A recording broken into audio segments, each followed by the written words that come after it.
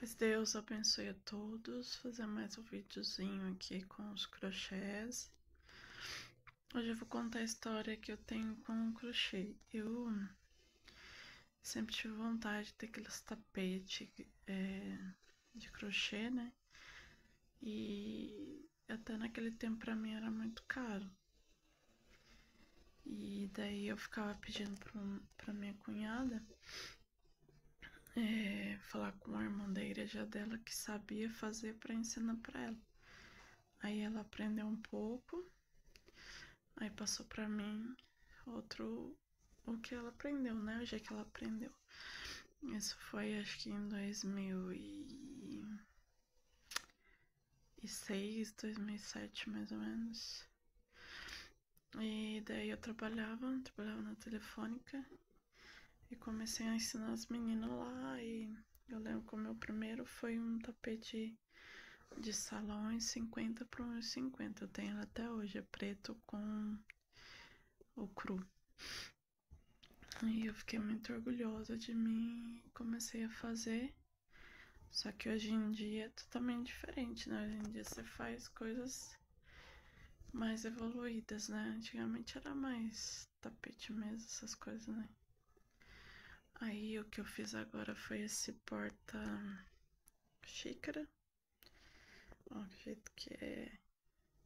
Eu fiz tudo ele num ponto trabalhado. Que ele estica, né? Daí aqui no final as correntinhas pra. pra fechar, né? Deixa eu ver se consigo com a mão só tirar aqui. Aí eu fiz com a sobra da linha ali. Na verdade, a sobra da linha que eu fiz aqui na bolsa, daí eu fiz, olha só, tá vendo? As alcinhas. Ele fica assim, ó. Ele estica, é um ponto que ele fica bem maleável. Aí eu fiz também essa esse porta-xícara. Na verdade, essa parte que tinha que ser verde, essa aqui é verde também, mas eu tava só com o restinho de verde. Eu fiz uma gambiarra, depois eu passei só o verde assim. Aí fiz as tulipas, bonitinho que fica. E ponhei o um, pérola. Aí já tinha esse cachepô que eu tinha feito de ponto baixo faz tempo e no final puff. Aí, na verdade, eu queria fazer aqueles kitzinhos só pra virar assim um, um cachepô, né, com as flores. Só que eu achei até melhor, porque você faz com a... Assim, você fica com dó de usar e assim, ó, deixar ele com as florzinhas. Aí fica bonitinho. Fica como um vaso, um cachepôzinho mesmo, ó, com as flores, que lindinho. Eu gostei do resultado, só que como aqui é lã, daí ele ficou assim exagerado, mas se fosse linha Anne, por exemplo, ia ficar menor, né?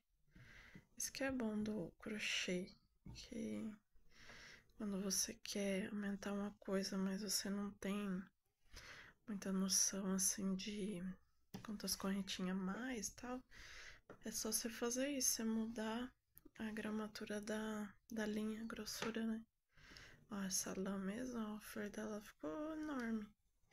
Se fizesse com a Anne, ia ficar é, menor, né? Bem menor. Aí eu pensei que ia dar trabalho, até que não. É, até que ela é fácil de fazer. Que lindinho que fica. Esse meio eu fiz meio de cabeça, o desenho. E elas. Aí pra ficar no cachepô, você usar mesmo. Eu acho que eu vou deixar ela no cachepô, né?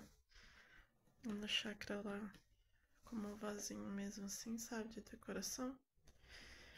Acho que eu ficava nem usando assim, como porta-xícara, mas ficou bonitinho, né? Se fizesse menor, dava pra fazer mais. flores assim, né? Uma juntinha da outra, ficar mais bonitinho também. Então é isso, eu queria fazer esse videozinho rápido, né? Pra mostrar pra vocês e também contar um pouco da minha história com o crochê.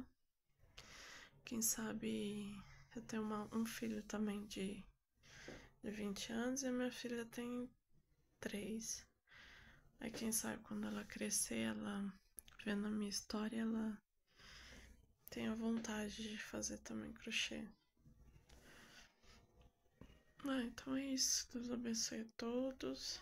Se Deus assim permitir, faço mais videozinho. Até mais.